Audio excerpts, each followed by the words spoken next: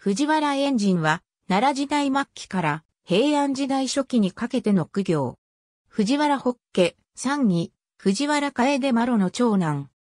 官位は、十二位、右大臣、増昇一位、左大臣。全山品大臣とも称された。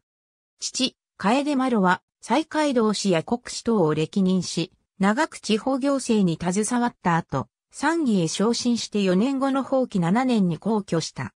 当時、エンジンはまだ無意で任官していなかったが、父没から3年後の放棄10年15位下に発除され、美之助に任ぜられた。その後、延暦2年から延暦4年にかけて一時的に、小納言、右小弁と大上官の官房機関の官職を務めた他は、備中主、秋守、太宰省に、文後守、大和守と、関竹友の前期から中期にかけて長く地方官を務めた。エンジンは、百姓の立場から人生を敷く料理であったらしく、国主として赴任した文後国では、エンジンの前世と遺徳を称える祠が建てられ、大分県肘町大臣の御霊者に現存している。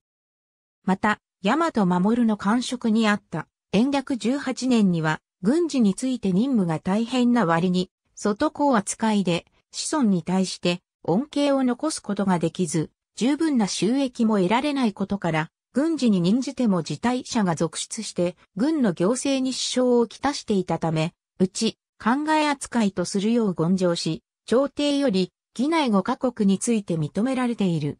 延暦17年14位した、右京大部に除任されて、教官を兼ねると、後、右大弁、大倉京都養殖を歴任した。大道元年平城天皇即位に伴って、正四位した参議に除任され、苦行に列した。また、スメラブ島等々に建てられた神の親王のスメラフト帝風にも任じられている。この頃からエンジンは積極的な政策提案を行い、多くが採用された。エンジンの民政提案は、百姓部民と検問抑制の二つの大きな方針から構成されていた。当時は律令制の本格施行から一世紀が経過し、均等な階層として想定されていた百姓層の階層文化が進行しつつあった。大多数の百姓は次第に貧民化していき、ごく少数の富豪百姓らに従属していくと、従前の共同体秩序が変質し始めていた。さらに有力貴族、自社等の県政化が自らの経済基盤を強化するため、根田永年資材法による規制面積以上に土地を開発し、百姓層の生活を圧迫する状況が見られた。百姓層の均質性は律令制維持のための前提条件であり、エンジンの政策提案は百姓層の均質性維持、ひいては律令制維持を図ったものであり、エンジンの政策を採用した当時の政府も、また、律令制維持を起としていたのである。なお、この頃にエンジンが権限し採用された施策として以下のものがある。大道4年東宮風として仕えた佐賀天皇が即位すると肖像位、中納言に任ぜられ、翌大道5年には大納言に昇進する。公認3年には右大臣、藤原内丸の皇居に伴い、エンジンは佐賀天皇の厚い信任の下右大臣に任官し、大上官の主犯に立った。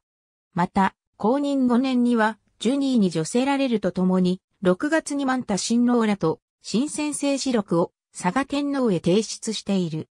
日本語祈祷によれば、エンジンが主導する政府の施政方針は、参議時代から提唱していた、百姓部民及び検問抑制だったと考えられている。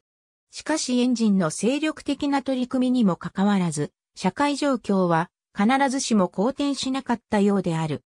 またエンジンの姿勢は独自のものではなく、前代の桓武天皇や藤原おつぐらの路線を踏襲したものと評価する見解もある。エンジンの次に大上官主犯となった藤原冬次は律令支配路線を大きく転換し、検問による開発の規制緩和を実施していった。公認9年12月19日皇居。去年63。最終官位は、右大神獣2位健康交付と帝風。佐賀天皇はその死を非常に惜しみ、葬儀へ死者を使わすとともに、左大人生1位の官位を送った。空海もエンジンへの追悼の書を記している。注釈のないものは日本語記による。ありがとうございます。